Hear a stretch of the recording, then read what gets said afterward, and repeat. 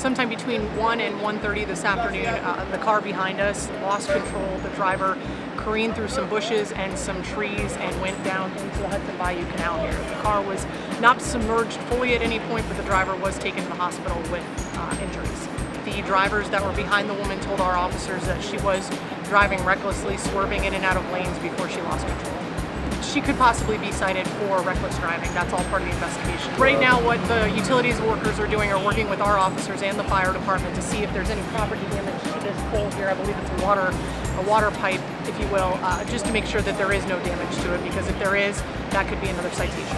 I think that's going to be a work in progress as far as how we get this car out. Right now, we've got the tow truck on scene, and workers are meeting right now to figure out exactly what their plan of action is to try to get the car out of the